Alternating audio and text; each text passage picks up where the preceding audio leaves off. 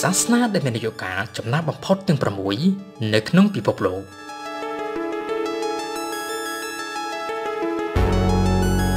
នៅក្នុងវីដេអូនេះសូមលើកយកនៅប្រវត្តិរបស់សាសនាមួយចំនួន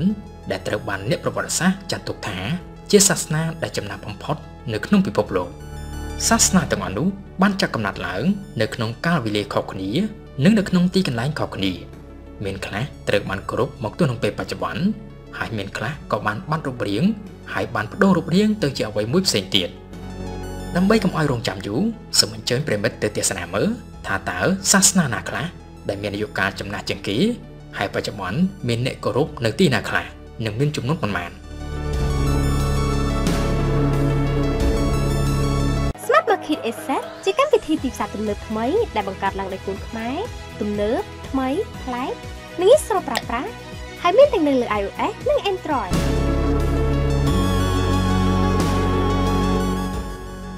ទី1សាសនាហិណ្ឌូសាសនាហិណ្ឌូបានកកើតឡើងចន្លោះពីសតវត្សទី15ទៅដល់សតវត្សទី5មុនគ្រិស្តសករាជសាសនាដែលបានចាត់កំណត់ឡើង នៅលើឧបទ្វីបឥណ្ឌាមួយនេះមានជំនឿដែលផ្អែកទៅលើគម្ពីរវេទដែលជាគម្ពីរបែងចែកទៅជា4ត្រូវបានរៀបចំឡើងចន្លោះពីសតវត្សទី15 ទៅសតវត្សទី5មុនគ្រិស្តសករាជគម្ពីរវេទនេះត្រូវបានគេចាត់ទុកថា ជាគម្ពីរចំណាស់បំផុតផ្នែកសាសនា នៅក្នុងពិភពលោកដោយសារតែរឿងនេះហើយត្រូវបានគេចាត់ទុក Hindu សាសនា គឺជាសាសនាដែលចំណាស់ជាងគេផងដែរនៅក្នុងសាសនា Hindu មានការបែងចែកទៅលើការគោរពអាទិទេពជាច្រើនព្រះអង្គ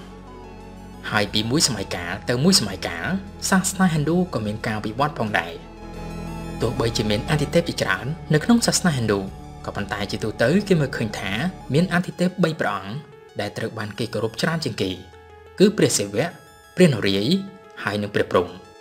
នៅក្នុងពេលបច្ចុប្បន្ននេះអ្នកដែលមានជំនឿទៅលើសាសនា Hindu មានរហូតដល់ទៅ1.161ពាន់លាននាក់ឬក៏ស្មើនឹង15.16%ក្នុងចំណោមអ្នកគោរពសាសនាទាំងអស់នៅលើពិភពលោក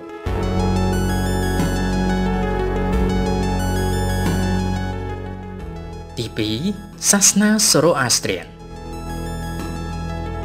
ជាផ្លូវការសាសនាមួយនេះបានកកើតឡើងចន្លោះពីសតវត្សទី10ទៅសតវត្សទី5មុនគ្រិស្តសករាជសាសនាដែលបានចាត់កំណត់ឡើង នៅក្នុងតំបន់ Indo-Iran មួយនេះត្រូវបានគេឲ្យឈ្មោះថាសាសនាដែលចំណាស់លំដាប់ទី2នៅក្នុងពិភពលោកតាមជនជាតិដើមបានហៅសាសនា Zoroastrian ថា Masdayana ដែលឯកសារមួយចំនួនបានលើកឡើងថា តាមការពិតទៅសាសនាមួយនេះបានកកើតឡើងតាំងពីសហសវត្សទី2មុនគ្រិស្តសករាជមកម្លេះក៏ប៉ុន្តែក្រោយមកត្រូវបានធ្វើកំណែតម្រង់សាជាថ្មី ពីសំណាក់ព្យាការីដែលមានឈ្មោះថា Zoroaster ឬអ្នកខ្លះហៅថា Zarathustra អ្នកប្រវត្តិសាស្ត្របានលើកឡើងថាព្យាការី Zoroaster បានរស់នៅចន្លោះពីសតវត្សទី10ទៅសតវត្សទី6នៃគ្រិស្តសករាជ ក៏ប៉ុន្តែសម្រាប់ជីវិតលំអិតអំពីព្យាការី Zoroaster មិនត្រូវបានគេដឹងច្បាស់លាស់នោះទេ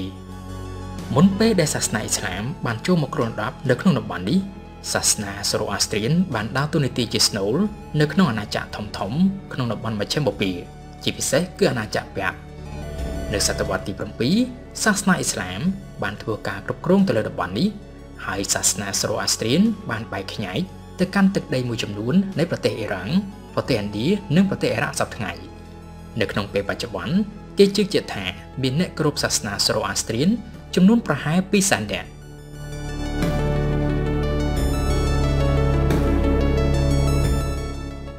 ទី3សាសនាជូដាសាសនាជូដាបានកកើតឡើងចន្លោះពីសតវត្សទី9ទៅសតវត្សទី5មុនគ្រិស្តសករាជសាសនាជូដាត្រូវបានអ្នកប្រវត្តិសាស្ត្រភាគច្រើនឯកភាពគ្នាថា បានទទួលឥទ្ធិពលពីសាសនាបុរាណរបស់អេស៊ីបមួយដែលមានឈ្មោះថា Athanis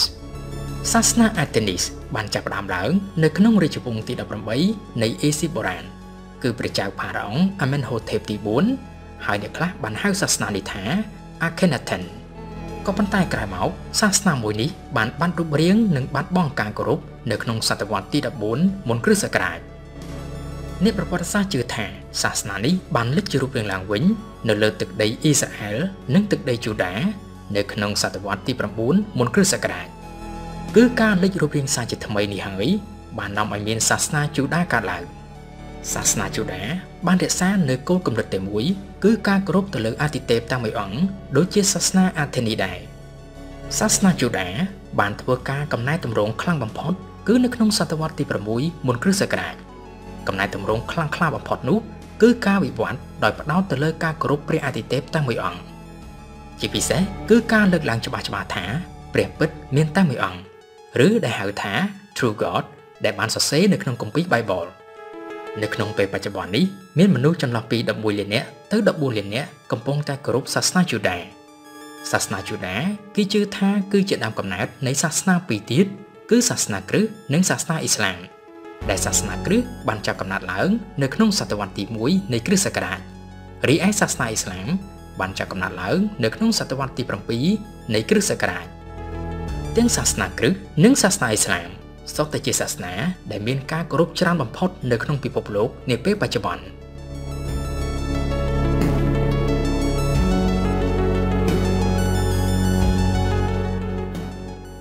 ទី4សាសនាចេន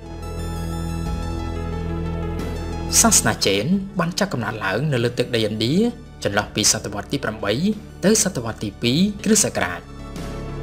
សាសនាចេនត្រូវបានអ្នកប្រវត្តិសាស្ត្រចាត់ទុកថាជាសាសនាតែមួយគត់ដែលនៅតែប្រកាន់ខ្ជាប់នៅគោលគំនិតដើមរបស់ខ្លួនមិនមានការកំណែតម្រង់អ្វីដូចជាសាសនាផ្សេងនោះឡើយអ្នកដែលមានជំនឿទៅលើសាសនាចេនតែងតែគោរពទៅលើតួអង្គព្រះដែលគេហៅថា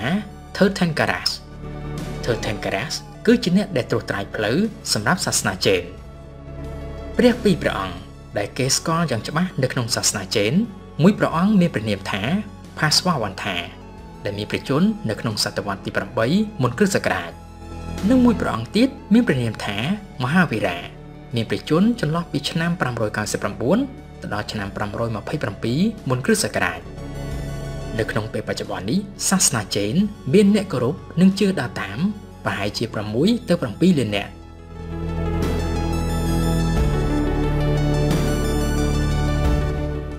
ទី5សាសនាខុងជឺ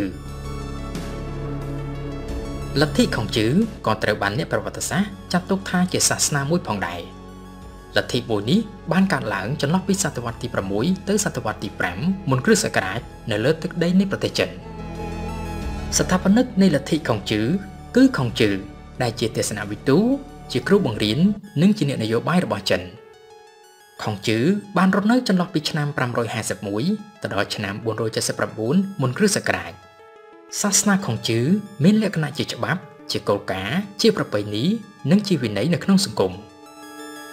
សាសនាមួយនេះបានដើរតួនាទីយ៉ាងសំខាន់នៅក្នុងការពង្រឹងក៏ដូចជាអភិវឌ្ឍសង្គមរបស់ប្រទេសចិននាសម័យកាលបុរាណនិងនៅក្នុងពេលបច្ចុប្បន្ន នៅក្នុងសង្គមរបស់ចិនមិនថាប្រទេសចិន មានការធ្លាក់ចុះឬមានការរីកចម្រើនខ្លាំងប៉ុណ្ណាទេលទ្ធិខុងជឺមិនដែលបានត្រូវបានគេបោះបង់នោះទេនៅក្នុងពេលបច្ចុប្បន្ននេះបើទោះបីជាមានឥទ្ធិពលសាសនាធំធំ បានហូរចូលទៅក្នុងប្រទេសចិនតួយ៉ាងដូចជាសាសនាគ្រិស្តនិងសាសនាអ៊ីស្លាមក៏ប្រជាជនចិនក្នុងចំនួនប្រហែលជា6លាននាក់នៅតែគោរពយ៉ាងតឹងរ៉ឹងចំពោះលទ្ធិខុងជឺ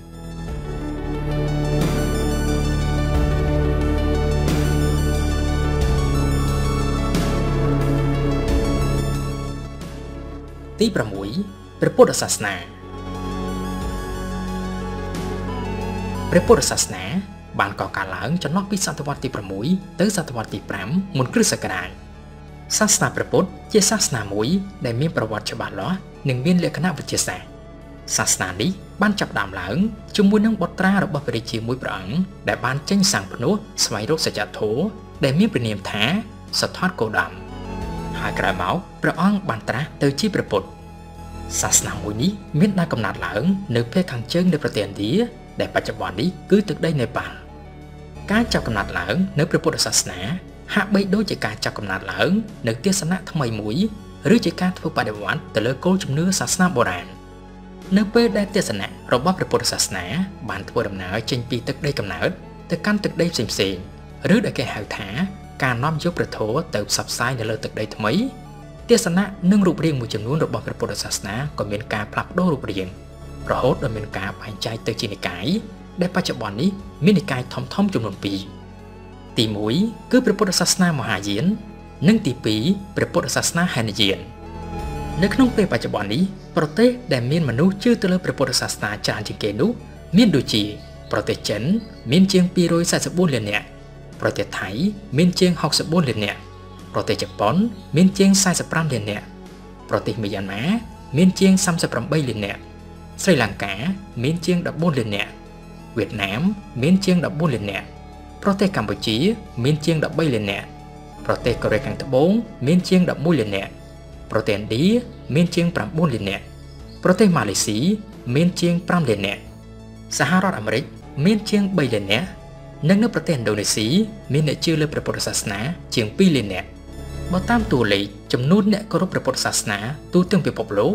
មានប្រហែលជា400លាននាក់តើលោកអ្នកចង់ធ្វើការកំងទិញទំនិញប្រើប្រាស់ប្រចាំថ្ងៃតាមបែបងាយងាយដែលគ្រាន់តែចុចពី3คลิกដែរឬទេ មិនចាំបាច់ចំណាយពេលដល់ផ្សារដោយយកអីវ៉ាន់ធុនធុនទៀតនោះទេព្រោះពេលនេះលោកអ្នកអាចបញ្ជាទិញអីវ៉ាន់តូចធំគ្រប់ប្រភេទនៅក្នុង app Smart Market Asset Smart Market Asset មានលក់អីវ៉ាន់គ្រប់ប្រភេទទាំងដុំនិងរាយជាមួយនឹងតម្លៃទាបជាងទីផ្សារស្ទើរមិនគួរឲ្យជឿជាពិសេសទិញកាន់តែច្រើនតម្លៃកាន់តែថោកនិងថែមទាំងមានសេវាកម្មដឹកជញ្ជូនដល់ទីកន្លែងរហ័សទាន់ចិត្តថែមទៀតផង Smart Market Asset ជាកម្មវិធីទីផ្សារទំនើបថ្មីដែលបង្កើតឡើងដោយកូនខ្មែរទំនើបថ្មីប្លែក និងងាយស្រួលប្រើប្រាស់ហើយមានទាំងនៅលើ iOS និង Android ទាញយក Smart Market Asset App ឥឡូវនេះនោះលោកអ្នកនឹងមានទំនិញគ្រប់ប្រភេទនៅក្នុងដៃ